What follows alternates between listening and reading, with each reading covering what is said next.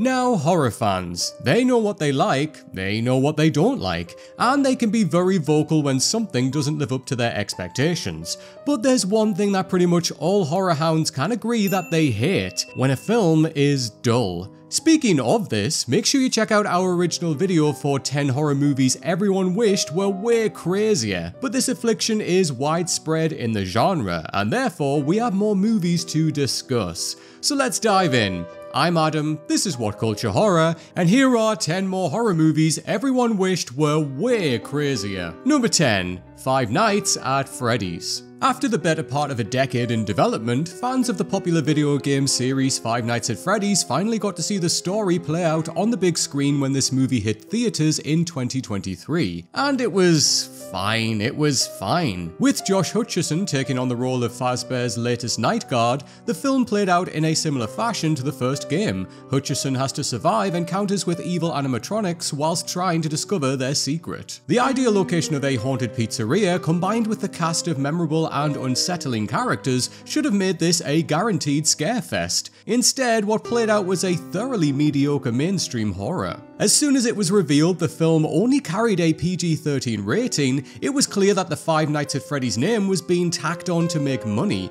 not to do the franchise any justice. The finished product was dull, confusing, and thoroughly unscary, which is actually quite impressive considering the source material. Oh well, maybe Blumhouse will get it right for the sequel, you know, if it ever comes out. Number 9 The Bye Bye Man. 2017's The Bye Bye Man was full of potential based on its supporting cast alone. I mean, where else are you going to find Doug Jones, Carrie-Anne Moss, and Faye Dunaway all on the same bill? The titular character hangs heavy over this movie as a spectre who infects people's minds with thoughts of violence when they think or say his name. And if you think that sounds familiar to how the Stay Puft Marshmallow Man was created in Ghostbusters, then you'd be right.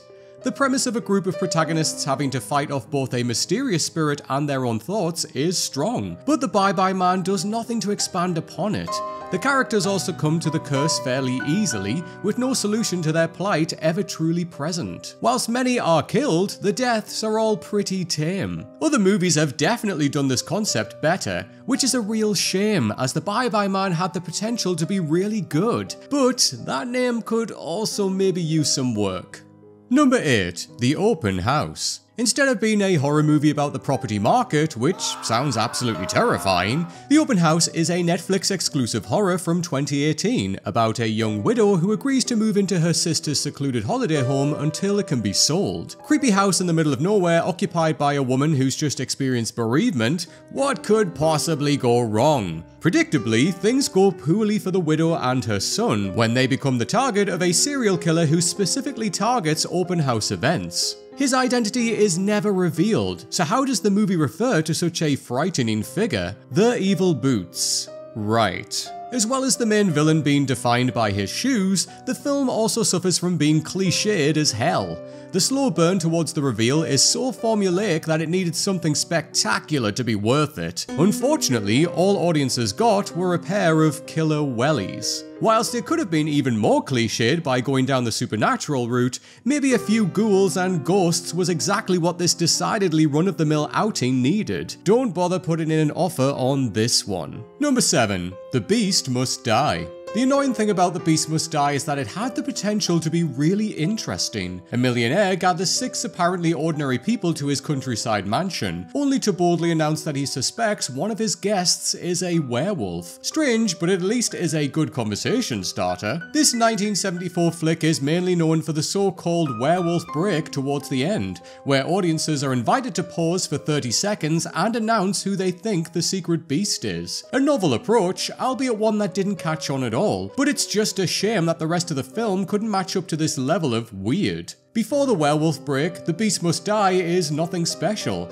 a plodding, uninteresting whodunit with some supernatural elements sprinkled in to keep things from getting really stale. Not even appearances from Peter Cushing and Michael Gambon keep it from being a bore, as by the time the break comes around, most people will likely have nodded off. What's worse is that there's a cut of the movie that removes the werewolf break entirely, aka the only interesting thing about it.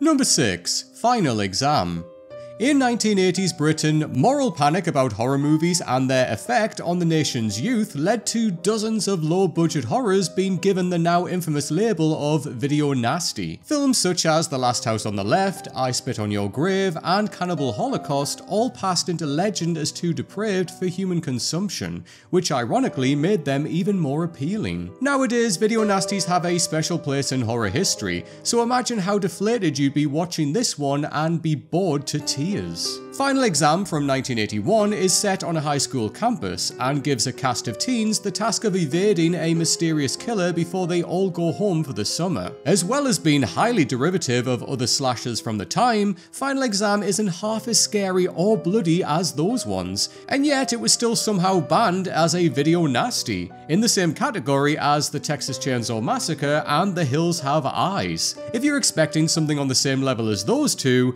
then prepare to be disappointed. Now I want to know from you, yes you the viewer of this video, what is one horror movie that you really went into thinking, oh this is going to be great, I'm going to be really scared, I'm going to have such a good time, and then you were bored to tears. Please do let us know in the comments down below, and while you're there make sure you give us a like and a subscribe. Alright, now back to the list. Number 5. Maximum Overdrive. For his one and only directorial effort, Stephen King got behind the camera in 1986 to make a version of his own story, Trucks, which became the film Maximum Overdrive. The movie is set in a world where a comet causes all of Earth's machines to come to life, but not in a fun Transformers way, in a murdery run for your life way. Considering the pedigree involved in this production, you'd think this would have been the most twisted, mentally scarring motion picture ever created, yet somehow it was a pile of dung. First of all, it's hard to make arcade games and vending machines into villains without drifting into parody, and whilst he is a master of the written word, King could not direct for love nor money. As a result, Maximum Overdrive is a complete mess, with none of the usual King intrigue to hold it together. Number 4. The Wicker Tree. Robin Hardy's The Wicker Man is widely regarded as one of the best British horror movies ever made, and as the shining example of the folk horror subgenre. Set on a remote Scottish island, a mainland policeman gets more than he bargains for when he investigates the disappearance of a girl, as he falls foul to the inhabitants' pagan ways. Over half a century on from its release, The Wicker Man is still talked about by fans old and new. What's not discussed nearly as much is its sequel. Once again directed by Hardy, 2011's The Wicker Tree is pretty much exactly the same as its predecessor, only much, much worse. None of the fantastic world building and tension crafting from the first film is here. It just retreads the same ground its older sibling did in the 1970s, only this time everyone knew what was coming. This was Hardy's final film project before his death in 2016, leaving a tragic stain on his legacy that will sadly never be erased. Much like its namesake, any remaining copies of The Wicker Tree should be burnt immediately. Number 3. The Happening M. Night Shyamalan has been called many things over the years, but very rarely has he been called boring. Even his most ridiculous films have something outlandish to cling to, with the exception of this 2008 release starring Mark Wahlberg and Zooey Deschanel as a couple trying to keep their children safe during a global outbreak of mass suicide. As with all of Shyamalan's projects, The Happening contains a big twist that is about to be spoiled, so look away now if you don't want to know. Marky Mark discovers midway through the movie that the suicides are being caused by plants. Yep, plants. Tired of being stepped on by humanity, figuratively and literally, the world's flora has developed a toxin that causes people to go crazy, leading to the apocalypse. So, what are the characters meant to do about that? Pluck each individual blade of grass from the ground? Get a cow? It may have been unexpected, but the plant twist doesn't do anything to make the happening compelling. Somehow, a movie about millions of people killing themselves is flat and uninspiring.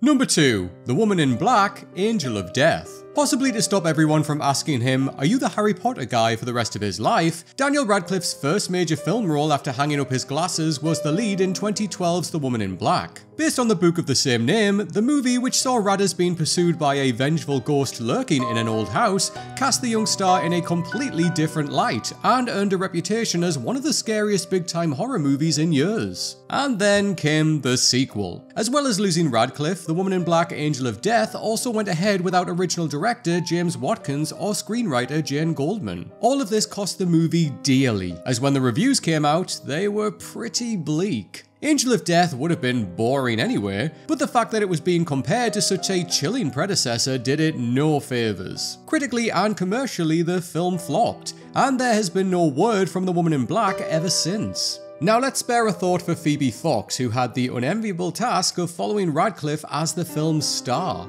Number 1. Annabelle. Take a tried and tested horror formula, the haunted doll, and throw in some exposure from an existing successful franchise, and what do you get?